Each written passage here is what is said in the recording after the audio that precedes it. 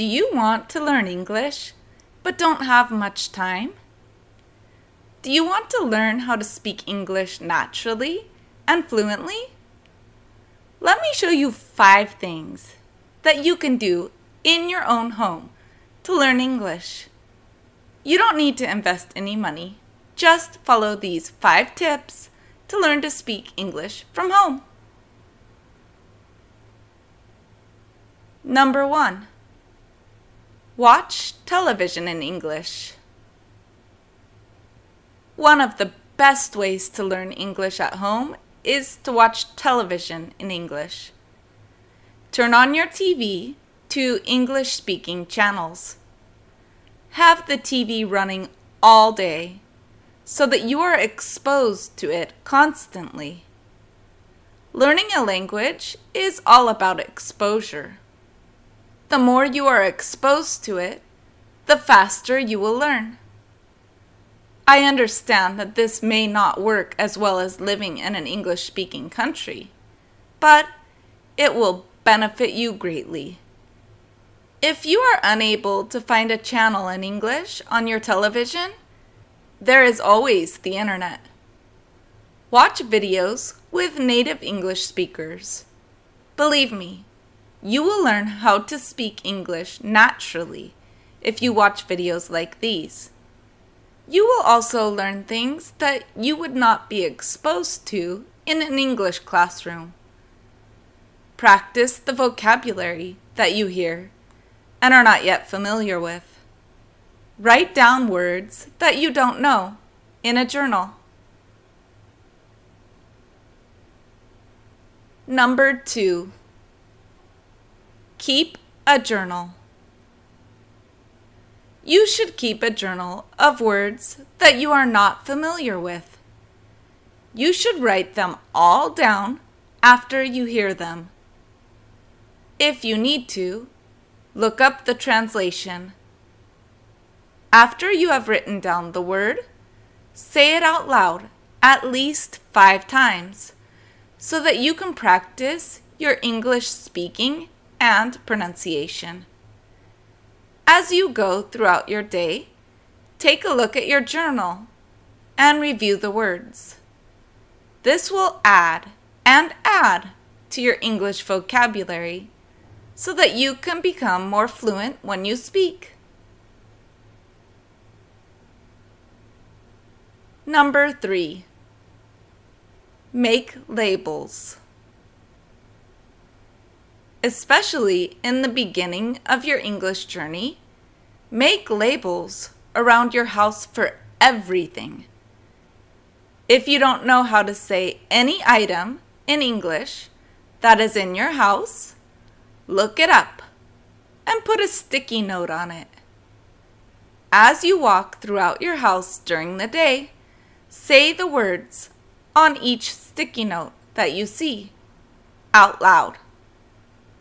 The more you actually pronounce the words, the more they will stay in your memory, so you are able to utilize them the next time you need to say them. I did this with the two languages that I learned, and it was very beneficial in boosting my vocabulary and also helped to improve my pronunciation. As you increase your vocabulary, you can add more to your sticky notes. Instead of writing down single words, you can now start to write down sentences. For example, you can write down, Now I am going to wash the dishes. Close the door when you leave the house.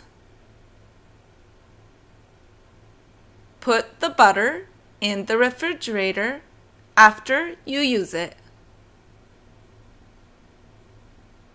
Call mom later tonight. Watch my favorite TV show at 5 p.m. Make the bed after getting out of it. Feed the dog two times a day. Restart the computer every night. Clean up desk on Fridays. Turn off lights after leaving the room. These are just some simple examples of things you can write down. Remember, say them out loud as you pass by these labels so you can get the most practice possible. Number 4.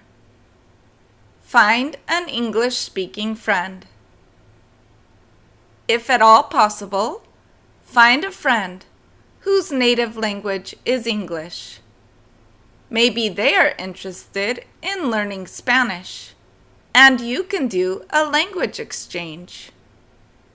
There are a lot of language exchange websites that you can go to to find a friend. If they are able to talk on the phone or on a video call, set a timer for half of the time that you have to practice. Speak in English for half of the time, and then in Spanish for the other half of the time so that you both have time to practice. The most important thing to remember is don't be afraid to make mistakes. Don't be embarrassed by your mistakes. This is how you actually learn. The more mistakes you make, the faster you will learn. If you would like, Ask your friend to correct any errors you make so you are aware of them. You can do the same for them when they make a mistake in your language. Number 5. Practice with a pet. If you have a pet, this may seem silly, but this is also a great way to practice. Speak to your pet in English all day. Have conversations with your pet in English. They may not be able to actually answer back, but this is a great way to practice your English speaking. When you speak with your pet and make a mistake, you won't feel embarrassed. Speak anything that is on your mind out loud to your pet. Saying your thoughts out loud will help you be able to start to think in English as well. Your pet is your number one companion, is not judgmental, and is always around. Take advantage of practicing English with your pet or your best friend. If you follow these five tips, you will increase your English fluency and vocabulary. You will learn to speak English naturally and at a faster rate. Let me know what you think of this list of tips. If you enjoyed this video, click like down below. Also, subscribe to my channel. Click on the little bell so you receive a notification when I upload new videos. Thanks for being so amazing. You guys are wonderful.